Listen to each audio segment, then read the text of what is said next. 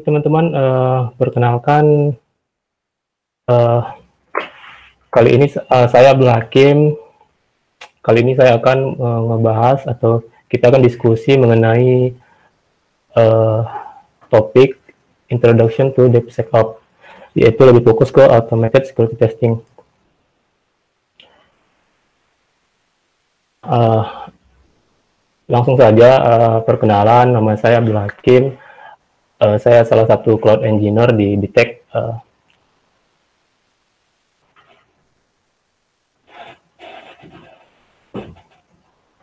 nah, jadi uh, kemudian untuk agenda kita hari ini kita akan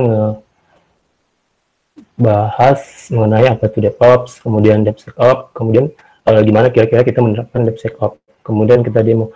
Uh, oh ya sebelum uh, ke ini uh, materi saya udah bisa dilihat belum ya? Tahu suara saya udah jelas atau? Sudah jelas presentasinya. Oke, siap.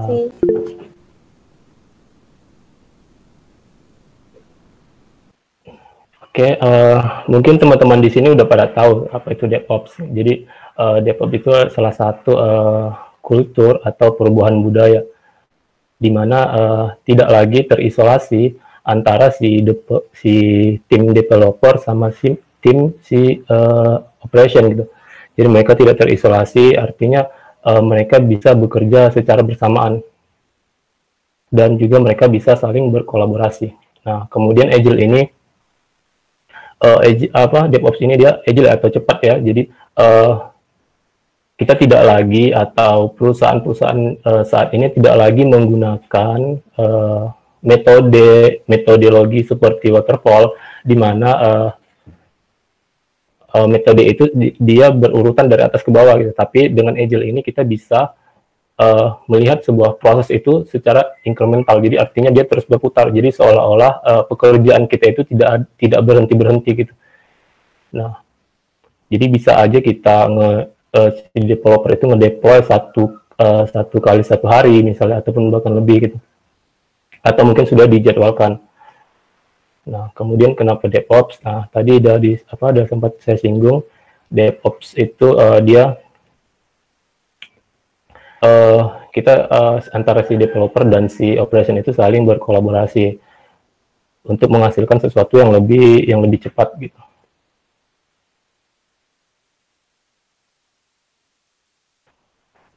Nah, kemudian uh, kita kita coba bahas DevSecOps. Uh, di sini ada istilah security dan DevOps.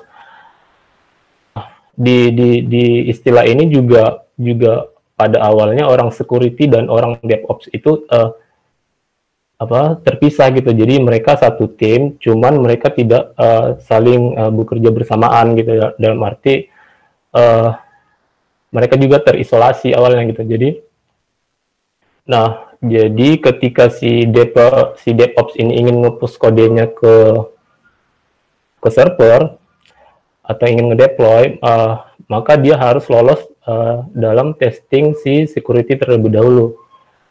Nah, kalau kita secara secara tradisional, uh, orang orang DevOps itu biasanya akan menyerahkan kodenya terlebih dahulu ke seorang security untuk di testing. Nah, kemudian ke, uh, kemudian orang security ngetesting. Nah, itu bisa membutuhkan waktu uh, biasanya 1 sampai dua minggu gitu.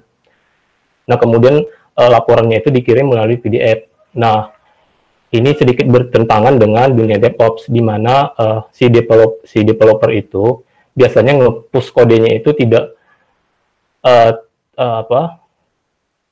Biasanya dia lebih cepat gitu. Jadi tidak tidak tergantung waktu. Dia bisa aja hari ini satu kali, besok uh, beberapa kali dan seterusnya gitu.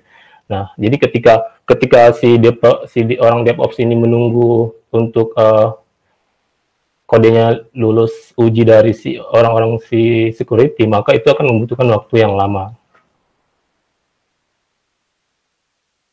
Nah, kemudian di sini ada kunci dari DevSecOps. Oke, oh kita coba lanjut dulu nih. Ini tadi security dan DevOps. Nah, uh, ada anggapan bahwa orang-orang security itu sebagai pemblokir atau sebagai penghambat. Kalau orang uh, kalau si developer itu biasanya uh, beranggapan bahwa orang-orang security itu uh, sebagai penghambat. karena uh, karena mereka harus lolos dulu uh, terhadap testing testing keamanan gitu. Karena bagaimanapun uh, sebuah sistem itu harus dapat menjamin keamanan data yang dimilikinya. Itu juga dengan orang security. Orang security kadang beranggapan bahwa uh, itu tidak peduli dengan security. Gitu.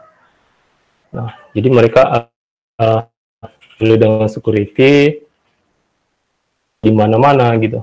Jadi jadi uh, dengan adanya si DevSecOps ini, jadi mereka bisa saling berkolaborasi dan saling memiliki tanggung jawab gitu.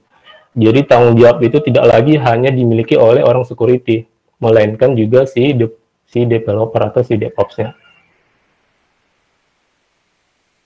Nah, kemudian uh, apa kunci dari DevSecOps tadi itu automation. Nah, ini ini sama halnya dengan DevOps gitu. Jadi uh, automation di sini perlu untuk memastikan uh, agar si DevSecOps ini seirama dengan DevOps yang telah berlangsung di perusahaan itu.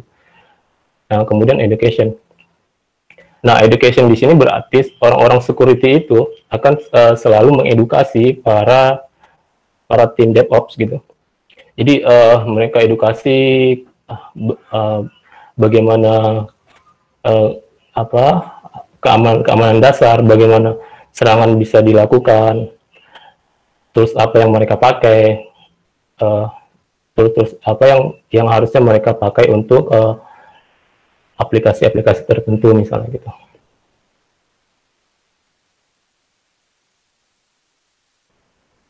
Nah, terus uh, bagaimana menerapkan DevSecOps? Gitu. Nah, cara menerapkan ini uh, kita mulai dari hal yang yang mudah terlebih dahulu, yang yang yang yang kecil, nggak usah terlalu apa, terlalu gede, ntar ntar jadi ribet sendiri. Jadi kita mulai dulu dari hal-hal yang kecil, mulai dari scanning-scanning yang uh, untuk aplikasi-aplikasi tertentu, misalnya kita coba-coba. Kemudian uh, tools apa aja yang dipakai, uh, bisa menggunakan uh, open source dan sekarang juga udah banyak yang open source. Oke. Kemudian kolaborasi. Jadi uh, tim security dan tim DevOps harus tetap uh, saling kolaborasi. Kolaborasi di sini artinya uh, bisa berupa saling berbagi apa yang dibutuhkan oleh DevOps. Uh, tim security juga harus selalu mensupport gitu. Nah, kira-kira mereka butuh aplikasi apa untuk dijalankan di uh, pipeline CI/CD misalnya di Jenkins seperti apa gitu.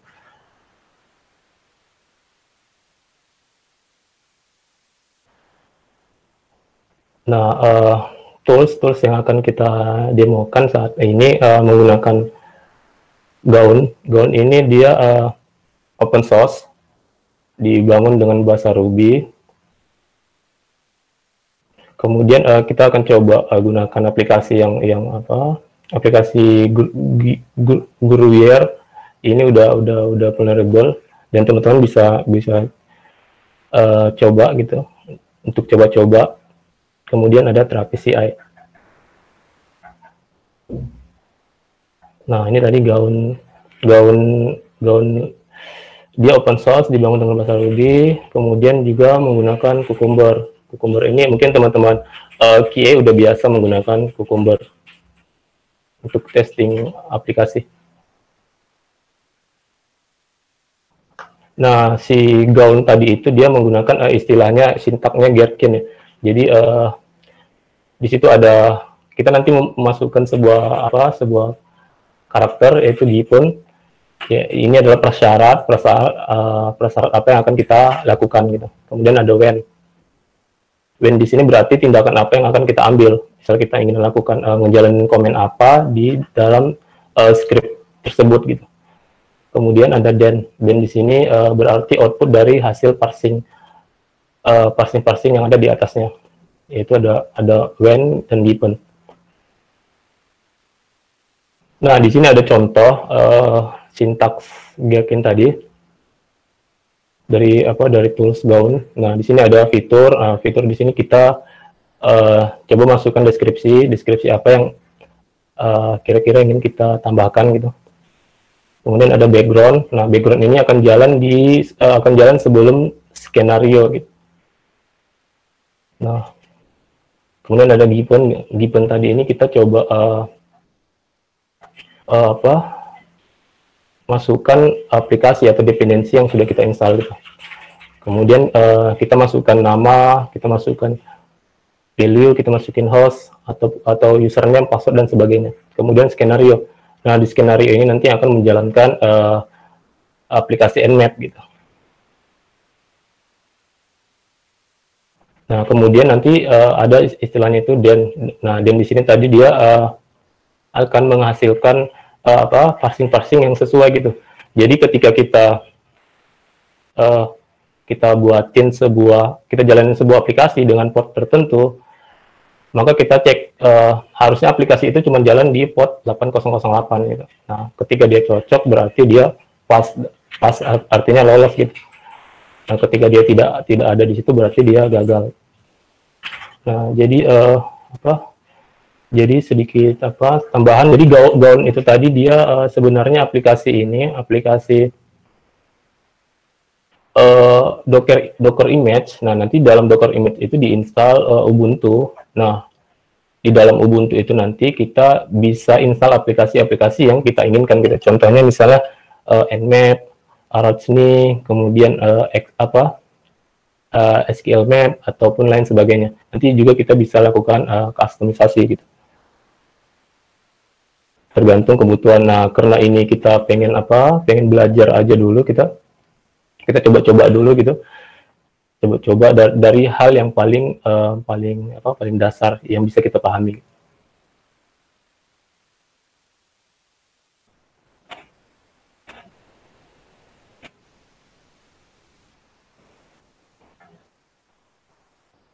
Nah, kira-kira uh, mau langsung demo atau pertanyaan dulu nih?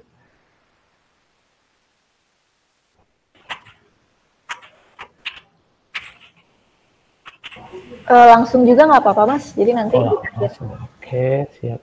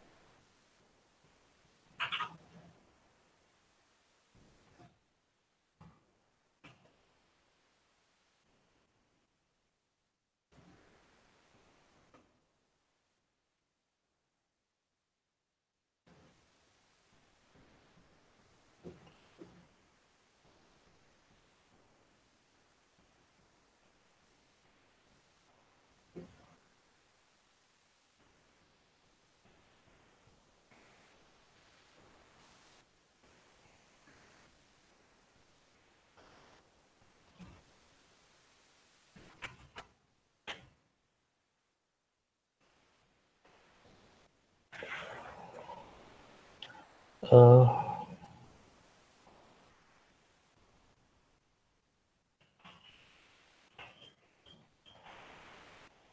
screen saya udah kelihatan belum ya?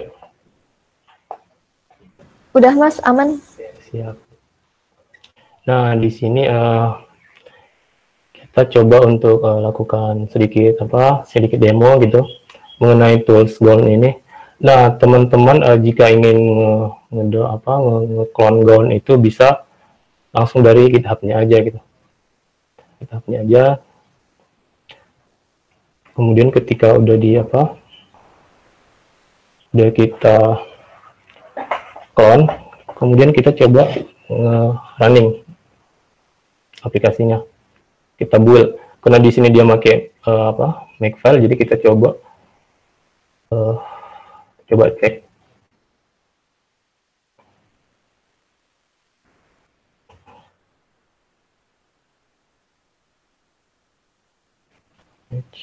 Sorry. Eh, sorry, bukan ini.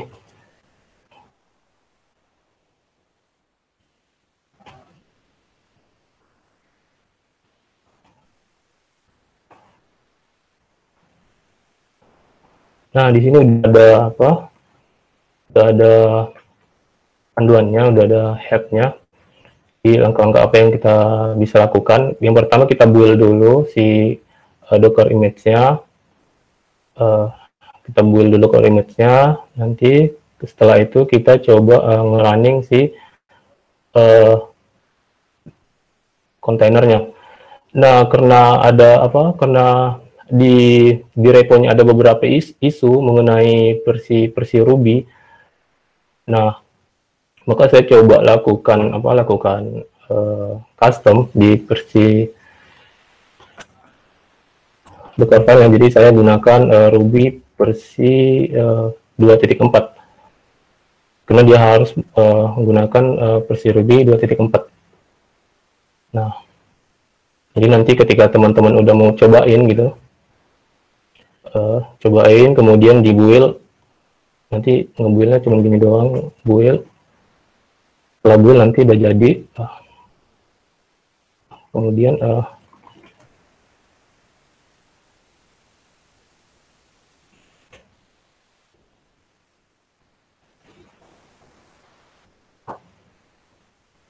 Oke.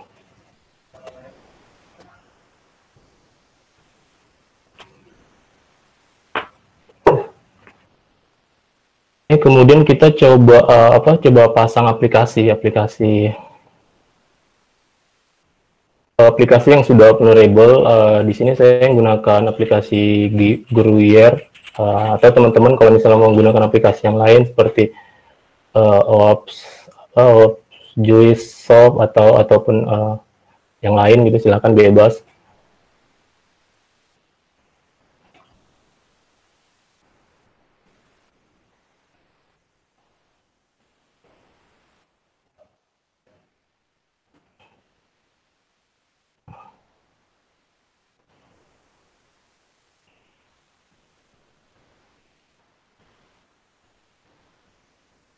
Nah, kemudian kita coba uh, coba cek di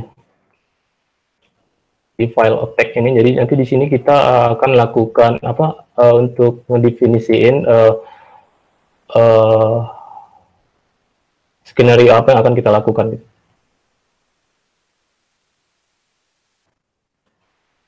di sini kita akan melihat uh,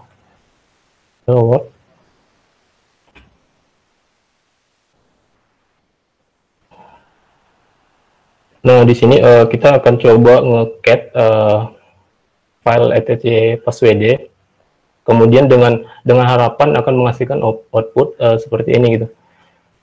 Nah, kita coba uh, kita coba jalanin dulu gaunnya.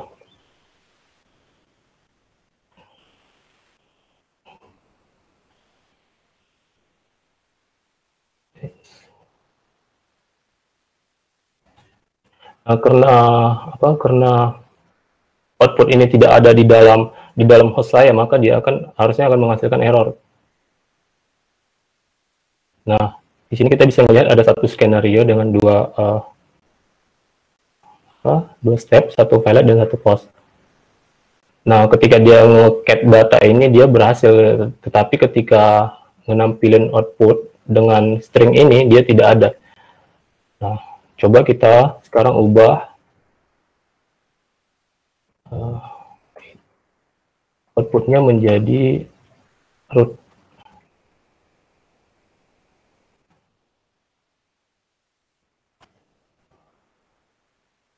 Dan kita jalani lagi uh, aplikasinya. Nah, di sini kita bisa melihat uh, bahwa uh, output tadi menghasilkan uh, apa PS artinya berhasil gitu kan karena uh, string ini ada di dalam file file ini gitu. Nah, kira-kira ini contoh sederhananya. Kemudian kita coba untuk uh, lakukan uh,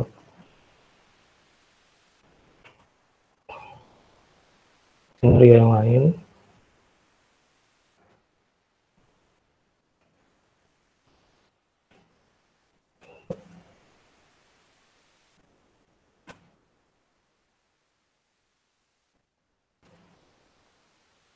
Nah, di sini saya udah apa udah menaruh uh, givennya nmap, kemudian uh, uh, hostnya hostnya apa, value-nya apa.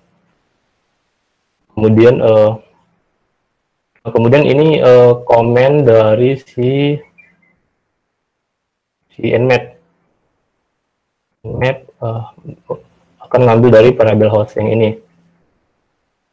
Kemudian outputnya uh, 008 karena uh, si apps-nya itu akan jalan di port 8008. Oke, nggak ada. Kita coba. Kenapa?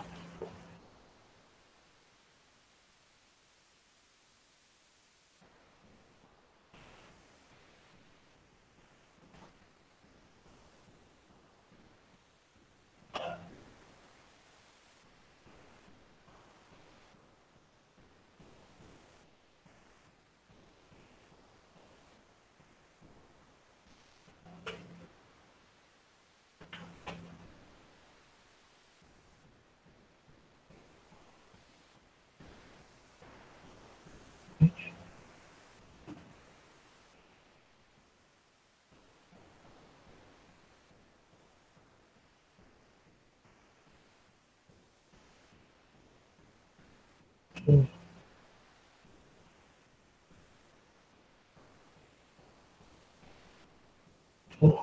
bukan di sini. Sorry.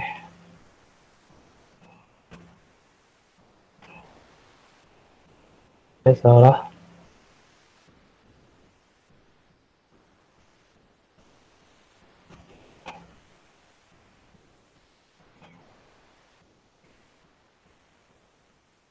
Nah, saya udah ngejalanin uh, sebuah aplikasi apa aplikasi web sederhana yang kejalan di port uh, 8008. Nah, kemudian kita coba uh, pin testing.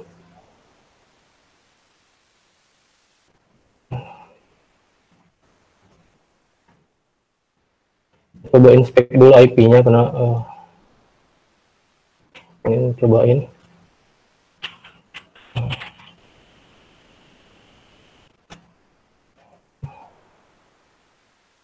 IP ini akan kita masukin di uh, di dalam skenario filenya.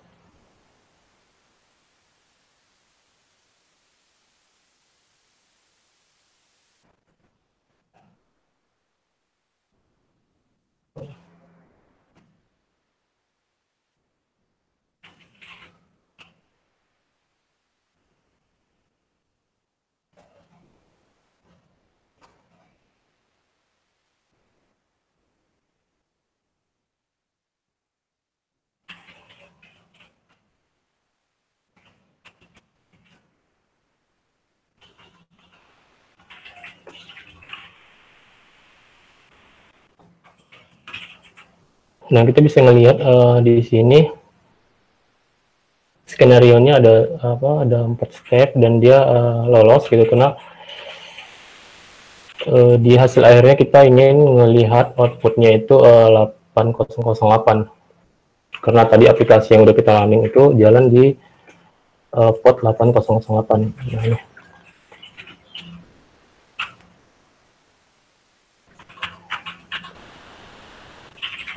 Nah, uh,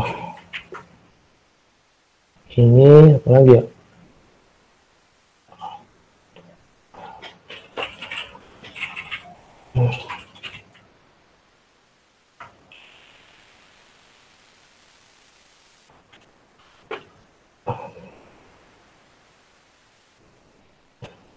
Nah, oke. Okay. Uh, kemudian gimana kalau misalnya kita ingin apa?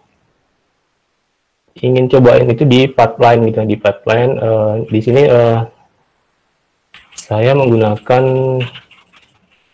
apa menggunakan Travis CI sebagai contoh untuk uh,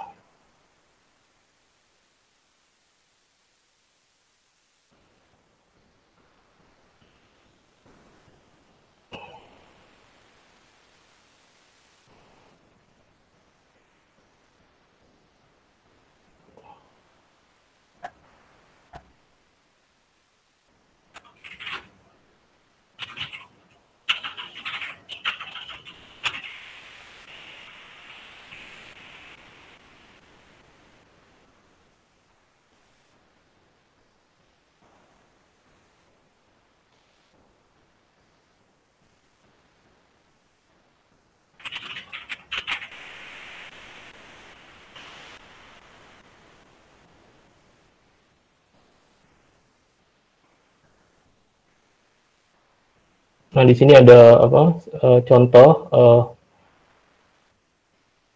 saya udah nge, ngintegrasiin uh, GitHub saya dengan terapi CI. Nah, kemudian uh, saya pengen ngelihat nih, pengen ngelihat uh, dia udah jalan atau belum gitu. Coba, coba kita lakukan uh, edit edit dulu filenya.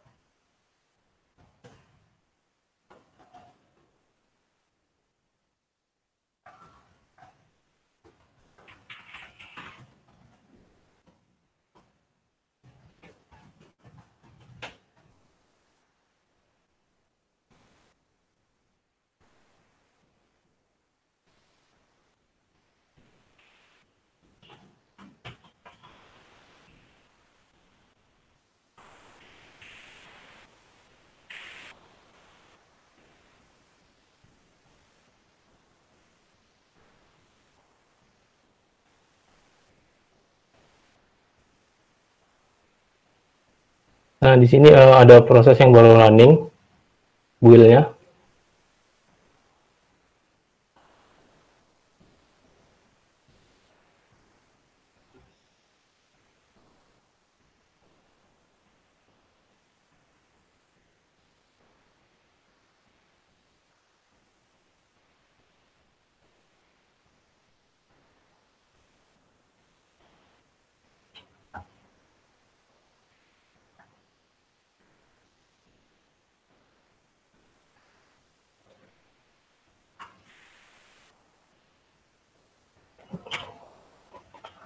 Nah, jadi uh, ketika si developer tadi nge-push kodenya, uh, maka si uh, uh, apa si aplikasi Gaun ini tadi juga akan ngerunning, akan ngecobain ngetesting dari uh, aplikasi yang di di push oleh si developer gitu.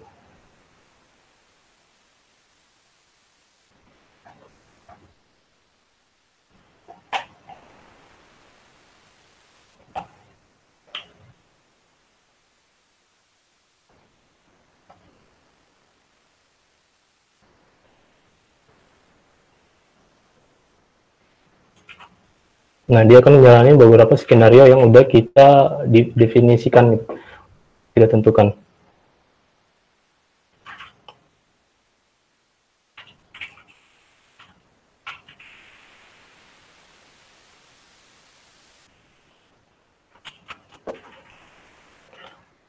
Oke, okay, baik. Uh, saya kira uh, sampai di sini teman-teman.